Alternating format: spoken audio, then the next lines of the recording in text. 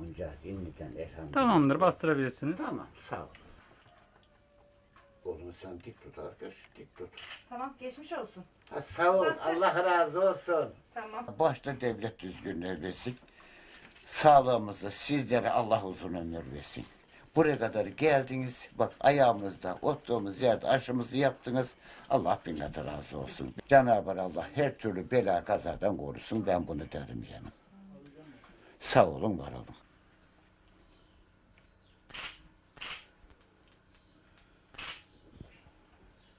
Bastırın.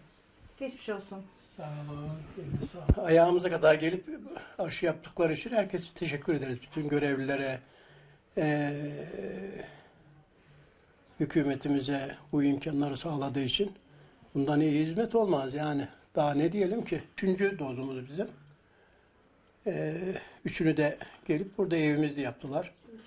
Yani onun için çok memnunuz tabii.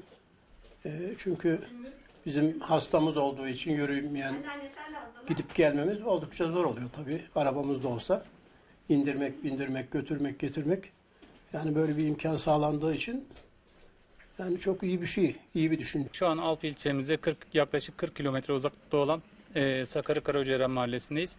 E, hastanemize aşılamaya gelemeyen e, yaşlı, e, bakıma muhtaç, engelli e, hastalarımızı aşılamaya geldik. Üçüncü doz aşılarını yapıyoruz.